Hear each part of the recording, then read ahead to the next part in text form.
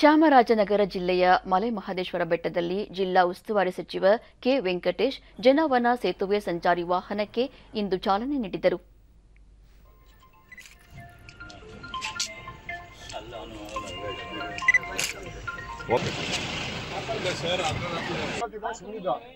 ನಂತರ ಕೊಂಬುಡಿಕ್ಕಿ ಗ್ರಾಮಕ್ಕೆ ಭೇಟಿ ನೀಡಿ ಗುಡ್ಡಗಾಡು ಜನರೊಂದಿಗೆ ಸಮಾಲೋಚನೆ ನಡೆಸಿದರು. ಈ ವೇಳೆ ಶಾಸಕ ಎಂಆರ್ ಮಂಜುನಾಥ್, ಜಿಲ್ಲಾಧಿಕಾರಿ ಶಿಲ್ಪಾ ನಾಗ್ ಮತ್ತಿತರರು ಉಪಸ್ಥಿತರಿದ್ದರು.